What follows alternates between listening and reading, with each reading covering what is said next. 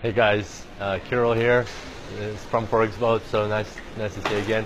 I'm just in the LA airport right now and um, wanted to make a quick video about um, like this thought of not giving up.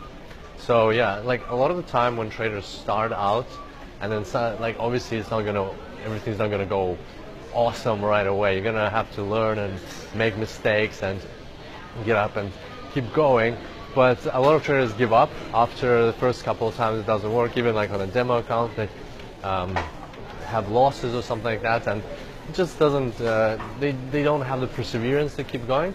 So if you find yourself in a situation where things are not going great and that um, you're you're not seeing the results that you're expecting, well, it's it's normal. So first of all, hopefully you're starting out on a demo account because of course, if you suffer losses right away on a big real account, then uh, it can really diminish your confidence in trading. But if you're starting on a demo account, it just doesn't work out. Well, the the correct way of approaching the situation is getting up and doing it again. So that's what success is all about. You, it's not about awesome, awesome, awesome. Everything's working out just great. That's that's magic. That's that's a magic wand. That's not success.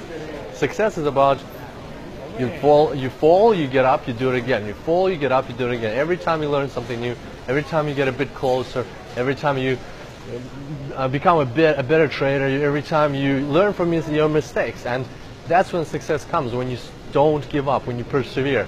And of course, that's why we start on demo accounts because uh, the initial period, you know, you have that period of beginner's luck, but after that, it's about falling over, getting up, understanding your mistakes, learning, and keep moving forward. And that's why we have these courses and ForexBoat, and that's why we have all the trainings to, to smoothing out this learning, curve so you can um, uh, avoid a lot of mistakes, but you're still going to make them. So um, it's all about getting up and doing it again. So my um, pitch for today is don't give up, keep going, and you will get success if you persevere.